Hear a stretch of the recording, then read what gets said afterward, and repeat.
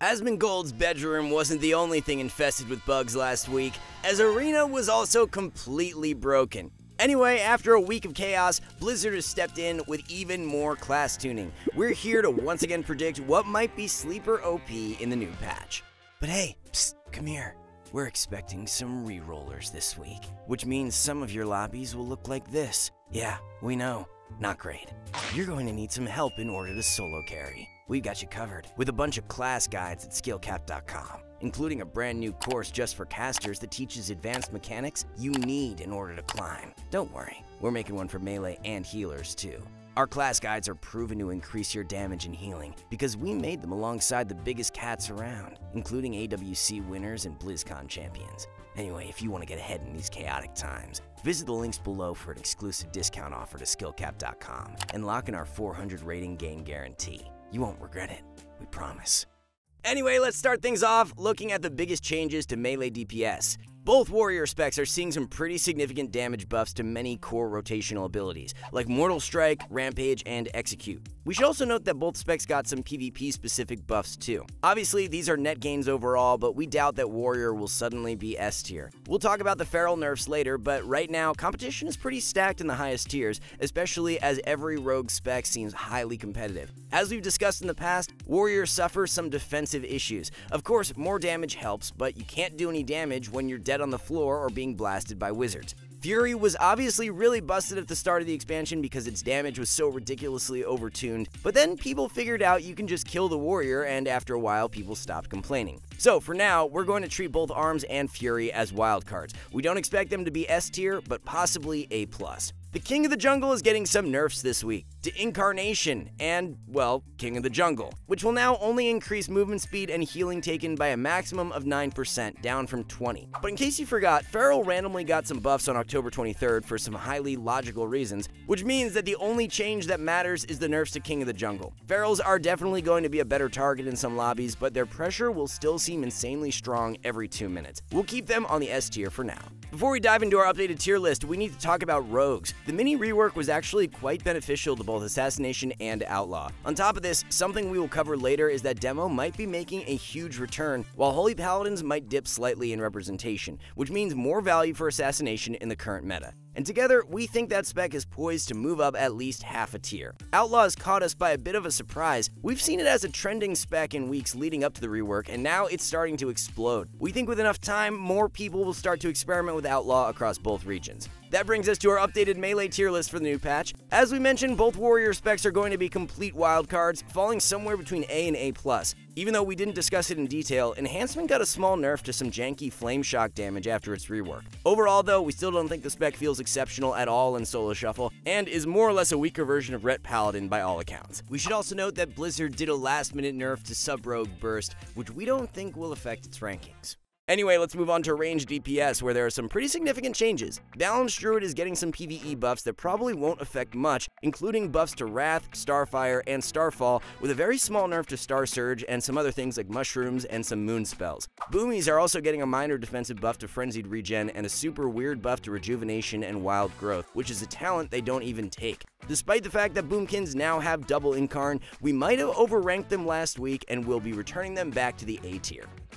Hunters are where things start to get a bit tricky. Both BM and Marks are getting significant changes, including PvP specific nerfs to Dark Ranger. And even though both specs were infested with bugs last week, BM is clearly coming out on top. BM Hunters are seeing a key nerf to Barbed Shot, which translates to less consistent damage, but at the same time, we are seeing a buff to Stomp, which might not seem like a big deal, but actually helps their Call the Wild burst thanks to Blood Frenzy. Overall though, BM Hunter has clearly emerged as the most popular and most dominant Hunter spec, and despite some nerfs, we think we might have underranked it last week and will be moving it back to the S tier. Marksmanship on the other hand, might actually be the worst Hunter spec overall, especially this week as two key Dark Ranger talents were also nerfed. With that said, the patch already did some pretty significant damage with the removal of Overshadow, which buffed Aimed Shot and rapid fire by 20%. For now, we're going to move marks down half a tier, but we still think there may be some potential for Sentinel. Nonetheless, the spec is definitely worse and is a high tier wildcard at best.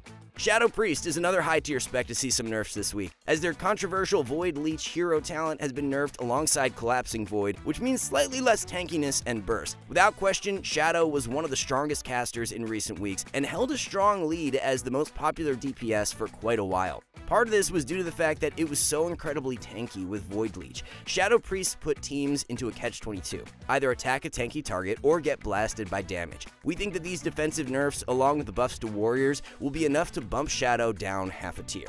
Ele Shaman was another spec we underranked last week. Even without bugs, the spec felt S plus tier. This week, the spec is getting hit with some nerfs to Ascendance, and more specifically, Elemental Overload damage, which is part of what caused Ele to get those big one-shots. But what people should realize is that overload damage is around 10% of their damage breakdown. Ancestor damage will still be really high, and Ele's can possibly dodge some of these nerfs by simply going back to haste instead of stacking mastery. So despite being a bit worse, we think Ellie will be quite strong and still one of the best casters in the game. Demo Warlock is where things get very, very interesting, as the spec is getting some massive buffs once again, specifically to Dread Stalkers, which now have a 100% chance to generate a demonic core. We've said in the past that Demo is simply plagued by the fact that it needs to hard cast, but this change alone is a pretty big quality of life improvement. Demo will also be getting more burst with the Grimoire Felguard buff too. Overall, their gameplay loop will feel much smoother, and we think it will be moving up at least half a tier, if not more. Destruction Warlock is also seeing some massive buffs too, with Chaos Bolt, Immolate, and Incinerate all getting big damage increases. These days, Destro Warlocks are more like an Affliction Ele hybrid, having so much instant cast damage to work with, but not necessarily having the best finishing power. These damage increases are pretty big, and we think that Destruction will also be moving up half a tier. In the next week, we expect Affliction's lead to slowly fade, as both Demo and Destro will be way more competitive. Anyway, that brings us to our updated range DPS tier list with plenty of competitive specs in the new meta. We're going to be moving Frost Mage back to the A plus tier for now, as there are clearly better specs in Solo Shuffle. Anyway, now it's time to wrap things up with the biggest changes to the healer meta this week. Mistweaver Monk saw a huge spike in power last week and is actually getting a mix of PvE centered buffs along with a 6% healing increase overall. These aren't coming for free, however, as the Sith Lord style crackle healing is getting a small nerf. Who would have thought that an AoE lay on hands was a bit OP? Anyway, Monk was a wild card last week, and for now, we're going to move it up at least to the A plus tier. This might seem like a hot take, but we still think there is at least one and maybe even two healers that are better in solo shuffle, since Monk still doesn't have the best cooldowns in the bracket. One of those healers is, without a doubt, Discipline Priest, who are getting a 20% buff to Radiance alongside a 15% buff to Flash Heal, which help offset some pretty minor nerfs to Premonition of Solace. While Disc won't have the big cocoon anymore, they are getting more consistent healing, which is a big quality of life improvement in Solo Shuffle. There's a possibility that Disc could be the best healer once again in Solo Shuffle and will be remaining on the S tier. Holy Priests are getting some buffs too, but we don't think they're nearly enough to be competitive. In both regions combined, there are only 13 Holy Priests above 2100. It's still the worst healer in Solo Shuffle by far. Earlier, we said that there might be two healers better than Mistweaver Monk, and one of those is still probably Holy Paladin. Holy Paladin is getting a long list of changes, including a 10% nerf to Word of Glory, slightly less mana regeneration, and a hit to 1 Holy Shock modifier. While these changes certainly do hurt, Paladin had such a massive lead over the other healers in recent weeks and will be staying on the S tier once again. Now, before we reveal our healer tier list, there were some buffs to some of the underperforming specs too. Last week we predicted that Resto Druid would be an A plus tier, but we think it's still a bit behind and we'll be moving back down to A. It's getting some rather irrelevant buffs to Call of the Elder Druid and Dream of Cenarius, which are the Fist Weaver style talents that only see play in 2v2. Resto Shaman is getting some more relevant changes this week, with both Healing Wave and Healing Surge getting a 15% buff, but again, we don't think this will change their rankings relative to other healers. Anyway, that brings us to our updated healer tier list for the new patch. Despite a mix of nerfs and buffs, we still think Holy Paladin and Disc Priest will have a strong lead in the meta, with Mistweaver trailing slightly behind.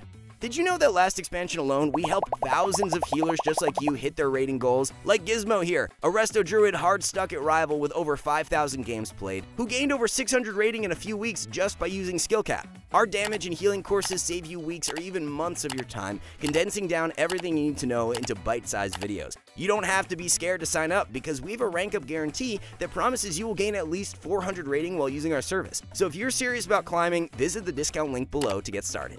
Anyway, guys, we want to thank you all for watching. See you soon.